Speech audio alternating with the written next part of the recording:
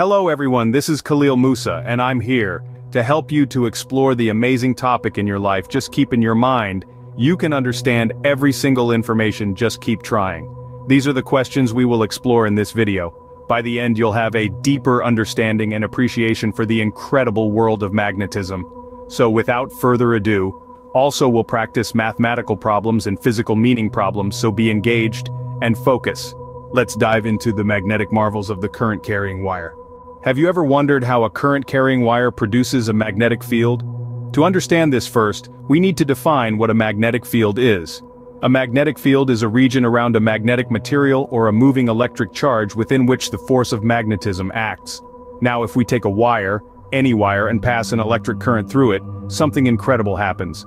That wire, as unassuming as it may be, begins to create a magnetic field around itself. It does this by creating circles of magnetic influence around its length. Because we have discussed before about current carrying wire, and as a summary of that the produced magnetic field depends on field, the magnetic permittivity, μ, current intensity, I, and the distance from the wire, R. So, let us do practice problems for more understanding, only pause the slide and follow the steps. Question 1. A straight current carrying conductor is carrying a current of 10 amperes to the positive x-axis. Find the magnitude of the magnetic field produced at 2 meter distance point above the wire. First thing that we're going to do is list the given information second it is the time to apply the formula now. The direction of magnetic field around the wire is determined by right-hand rule. Remember your thumb in the direction of current and your fingers rotate around the wire in the direction of magnetic field. In our example we'll get the direction outside the board, or paper it is represents by dot. In general, magnetic field is direct proportional to the magnetic permittivity and current. Higher permittivity or current, stronger the field but it's inversely proportional to the distance from the wire, move further away, and the field weakens. Some application are, the phenomenon of a current-carrying wire creating a magnetic field has far-reaching implications. It's not just a scientific curiosity but a principle that's instrumental in the functioning of many devices we use daily. Take speakers for instance. They rely on this principle to convert electrical signals into sound.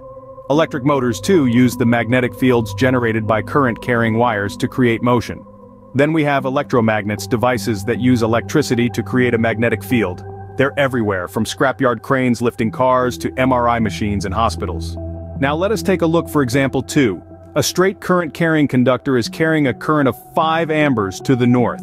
Find the magnitude of the magnetic field produced by it at 1 meter distance. As the previous example you should follow the steps, take your paper and pencil and start working on it if the answer is, even the electricity we use every day owes its existence to this principle. Power plants, whether they're wind, hydro, or nuclear, essentially work by moving a wire in a magnetic field to generate electricity. Continue practice, don't not stop her, there is another example.